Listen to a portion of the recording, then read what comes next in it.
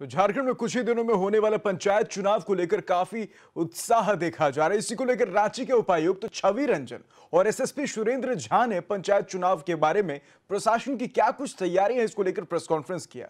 उन्होंने बताया कि सुरक्षा व्यवस्था को मज़बूत रखा गया इसके साथ ही किसी भी तरह की लापरवाही को बर्दाश्त नहीं किया जाएगा। और अभी प्रचार सभी अभ्यर्थी के द्वारा किया जा रहा है और आचार संहिता भी इसी बीच लागू है। प्रथम चरण को लेकर जो तैयारियाँ हैं, उसको लेकर आज आप सभी लोगों को अवगत करना चाहूँगा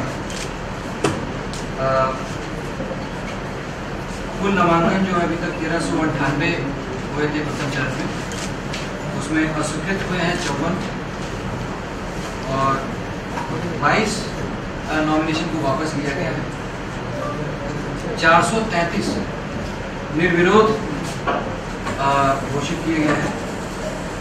आगामी पंचायत चुनाव मद्देनजर जो है, जिला प्रशासन की तैयारियाँ प्रारंभ हो चुकी हैं और आप सबको विश्वास होगा कि अभी तक के पूरे ज़िले में हज़ार से ऊपर लोगों को बॉर्डर किया गया है और विभिन्न एजुकेशन के माध्यम से उसको नोटिस साझा किया जा रहा है।